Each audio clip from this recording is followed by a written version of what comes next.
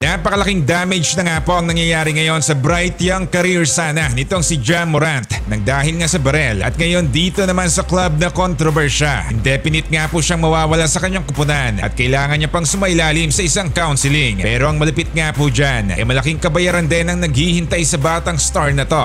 Kapag nga nabigo siya na makasali sa All-NBA team ngayong season, eh hindi na nga po siya magiging eligible pa para sa Supermax na kontrata na tumataginting na 233 million dollars sa loob ng limang season. Tuluyan na nga pong mababawasan to na regular rookie max na lang na aabot sa 194 million dollar na parehong haba ng kontrata. Malaki-laki pa rin naman ano, pero malaki rin nga po ang nabawas na.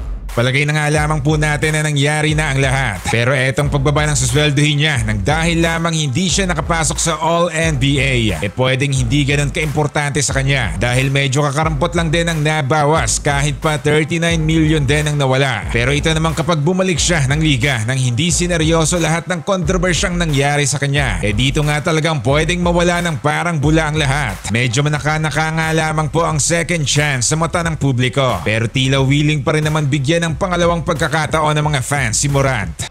Kahit pa nga po Les Morant na ang Memphis, nakayanan pa rin nilang maipanalo ng dalawang sunod ng kanilang laban. Kaya tuluyan na nga pong bumagsak ang Dallas sa below .500 record. Bagamat wala nga po silang luka, maging Kyrie ng dahil sa injuries. E napaka-impresibo pa rin nga po na makitang nagpapanalo ang Grizzlies. Napakalaking bagay ng 27.1 point per game ni Morant. Kaya ang success sa playoffs ng Grizzlies, e pwedeng nakadepende kay Morant ano. Pero capable na capable pa rin nga po ang team na manatili sa top 2 seeds sa West pero malamang rin nakakapusin sila kapag Les Morant pa rin sa playoffs, di ba?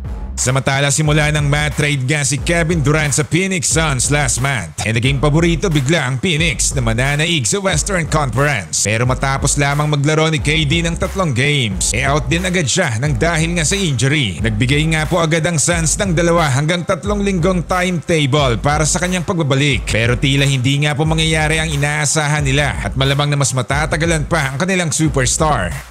Nasa mahirap na sitwasyon nga po ngayon ang Phoenix Suns. Kung mamadali nila ang 34 anyos ng Durant, ay talagang malaking risk nga po ito habang tumatagal ano. Lalo na't may history na rin nga po itong si KD sa leg injury nung nakaraan. Malaki nga po ang expectation sa team ngayon. Kaya susubukan talaga nilang makakuha ngayon ng kampinato at kaya rin bawat game ay napakahalaga. Bilang port seed po sa West, walang dudang napakahirap humantong hanggang finals dahil pwedeng Nuggets o Clippers ang makakasagupan nila sa series bago ang conference finals. Kaya kung nandyan nga itong si Durant, eh posibleng mapataas pa nila ang kanilang standings para na rin mas masecure pa ang kanilang posisyon sa postseason. Hindi pa nga po tayo nakakakita ng isang dekalibreng katulad ni Durant na ma-trade sa mid-season sa liga. Pero itong mga mid-season trade nga ay malimit hindi ka agad nagkakaroon ng chemistry. Karamihan sa mga kupunan ay kailangan talaga ng mahabang panahon para makadevelop ng tamang chemistry sa sistema nila bago maging isang tunay na elite. Para sa Phoenix, umaasa sila na pwede nilang malaktawan yan ng dahil kay Durant which is maganda naman ang kinalabasan din ng tatlong games ni KD sa team. Yun nga lang eh na-injured din agad. Hindi nga rin po natin masisisi ang team kung mag-iingat sila kay Durant. Kahit pa bumaba sila ng tuluyan sa standings bago nila pabalikin ano